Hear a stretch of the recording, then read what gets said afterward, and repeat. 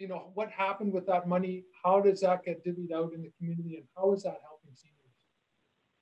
Yeah, you know, I, I, it's funny, you know, we, we keep hearing, um, it's an interesting thing about United Way and other charities. It, it's, um, it's somehow we're getting rich and, you know, we're spending all this money, uh, government money. I'm like, yeah, well, I'd like to tell my staff that, but, uh, you know, it, it's, for the New Horizon funds, we got 120,000 for our region and uh, we keep 5% of that for uh, administering the funds. And so what that involves is, you know, we do a call for proposal, we, we rate all the, the calls, we have to contract them, and then we monitor and figure out are they actually doing what they're doing, uh, what they're supposed to do with the funding, and or we uh, we will defund them or we will bring the money back in and, and fund somebody else. And so that's you know in terms of just that uh, New Horizons piece and that and that was true also of the emergency community support funds that came from the feds. And I know you were engaged in that that piece as well, Paul. And uh, you know, just heartfelt thanks for that uh, additional funding into the community, both the New Horizon and the ECS funds.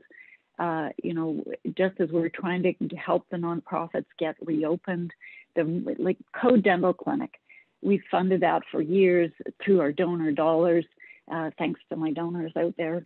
Uh, and that helps people who can't afford to go to the dentist, right? So that's, uh, you know, and that includes seniors uh, who are, you know, on fixed income. So an example, Code Dental needs to renovate and do some work just in their clinic so that the dentist is safe and the patients are safe you know that's the that's the kind of you know so we meet with code we go what are you doing? What are you going to do? You know we we curate that and figure out okay that's that's a good solution. Maybe we can find something over here. Hey i know somebody else who can donate that bring that in. And i think that's the role of the united way.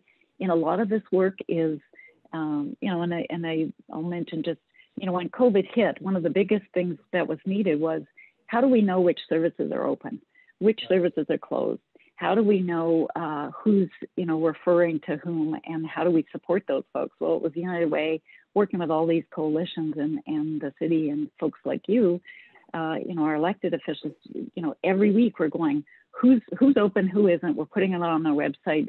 We're finding out you don't have any food. Your food bank's closed in your small community. Let's move some stuff up from here to there.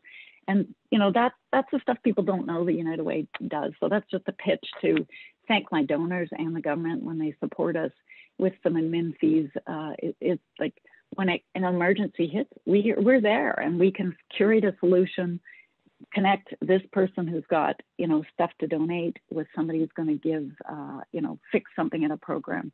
So, um, you know, I'm not sure I answered your question about, uh, you know, that's kind of the, like why we exist and what we do. And it's, a lot of it is, is just, uh, testing to see what works.